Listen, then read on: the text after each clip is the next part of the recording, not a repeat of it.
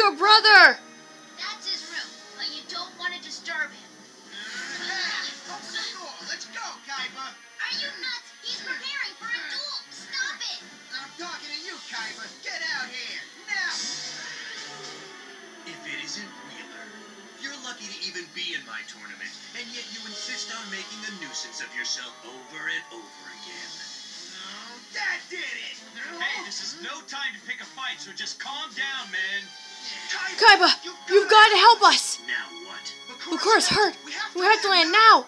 He needs to see a doctor right away, Kaiba. You're asking me to do the impossible. We can't make an unscheduled stop.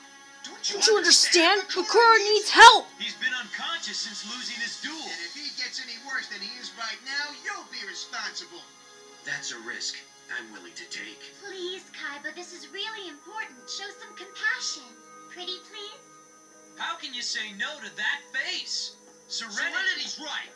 He shouldn't have left the hospital in the first place. This is Bakura's own fault. Kaiba, please. Isn't someone's health more important than your silly game? Listen to her, will ya? She's got a good point. What's wrong with you? I've had enough of this attitude, Kaiba. Find a way to